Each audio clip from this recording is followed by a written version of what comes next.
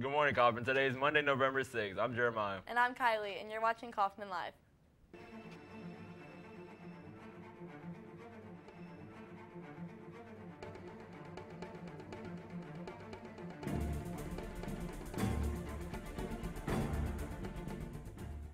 So uh, Jerome took a lot of L's in Yeah. sports this week. Yeah, it's embarrassing, bro. Here's your L, Jerome. Yeah, take it. There- we don't want go. it. Yeah. Students who applied to NHS can pick up their letters today after school in the Commons. Interact Club will be having our next general meeting this Wednesday after school in the Teachers Lounge. We'll be putting together snack packs for the Ronald McDonald House. The Ronald McDonald House is a nonprofit organization that provides parents a place to stay while their child is being treated for cancer. Here are some items you may want to bring to the meeting crackers, granola bars, chips, microwavable soups, and any other non perishable items. Members will receive half an hour for bringing in items. All are welcome. Physics Club will meet today after school in room 808 for a physics-related competition. Those who plan to participate do not need to pr- prepare anything ahead of time. Attention juniors and seniors, the University of Dayton is sponsoring a Woman in Engineering overnight this Friday. Experience engineering in hands-on laboratories while learning how to infuse innovation and creativity into engineering design. Space is limited. If you're interested, register at udengineering at udayton.edu. The colleges visiting this week are Salve Regina University Wednesday at 8:30 a.m. and Landmark College Thursday at 10:15 a.m.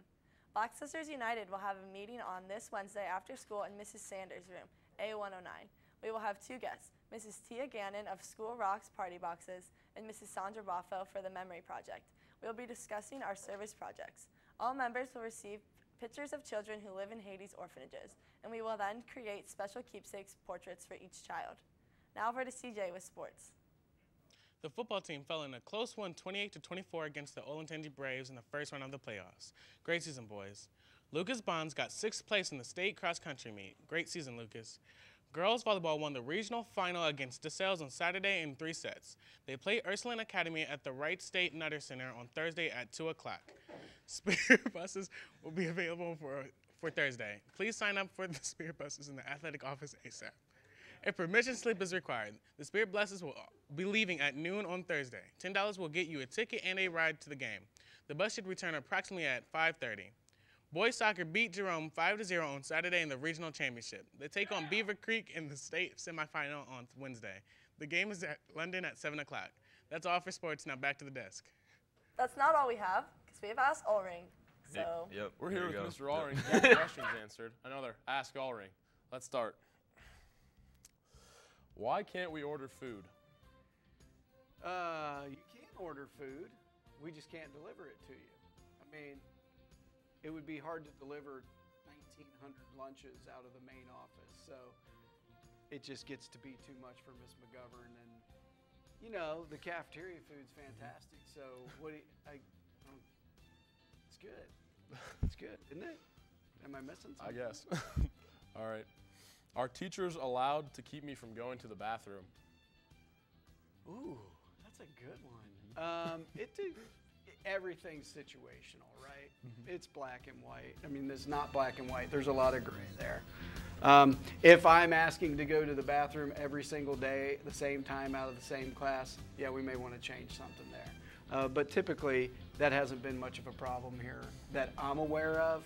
Maybe someone is wondering about that because they frequent the restroom more than others. Um, maybe they're not doing well in that classroom. I mean, there's so many things that could factor into that. I'm gonna leave that up to the teacher right. and the student. How about that? All right. So while we're in the bathroom, Hey, why can't we wash both of our hands at the same time?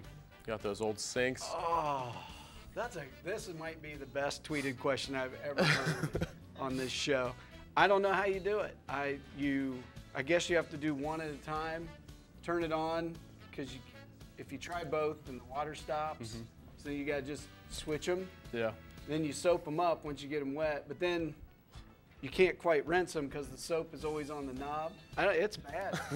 That's something we got to fix. Um, why aren't we allowed to rush the field after sporting events? Well, sporting events is a broad term. So why can't Football we rush game? the field after a football game or the court after a basketball game? Uh, we can definitely rush the football field, and there weren't great opportunities at home games this year. We only do it at home, so we're not doing it on somebody else's turf. But the games, I mean, Gahanna, we, that was bad enough. We weren't going to embarrass them even more. And there just weren't great games. Gahanna, we were definitely going to do it. And that turned Yeah. out just at the Wow. end. You But bring if Davidson, but if Davidson were home, if Arlington were home this year, those would have been great opportunities. I think our home games just weren't super competitive, exciting, except for the one that didn't turn out our way, or else we would have. I just, I don't. Sometimes it's rubbing it in on another team.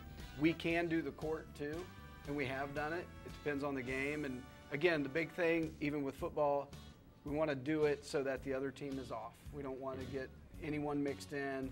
Don't want any kids saying something not appropriate to the other team and not being uh, sportsmanlike and, and so forth. So, uh, but it's new. We we can. And uh, last question: Bengals or Steelers? Cowboys, Cowboys, Why is that? because they're the best. Number one, uh, Bengals. I don't. Have you been watching football? yeah, I'm watching football. Okay, this year. The Steelers are Bengals- doing pretty good. The Steelers are doing fine. Mm-hmm. Do you know who the winningest quarterback is in the Browns Stadium since 1999? I do not. Ben Roethlisberger. He's the winningest quarterback in Brown Stadium. That's that's pretty Ooh, insane. That's rough. Yeah. I say, how about those Cowboys? Is what I say. Yeah. All right. Yeah. That's it. Thank you. We'll see you next time on Ask Allring.